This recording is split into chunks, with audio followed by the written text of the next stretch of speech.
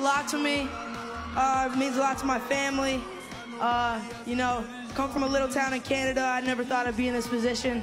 So thank you to everybody. Thank you to all my fans. Thank you to L.A. Reid, uh, Steve Bartels. Thank you to Usher for you know being my mentor. And uh, you know, thank you to everybody here. Thank you so much. Thank you, thank you, thank you, thank you, thank you.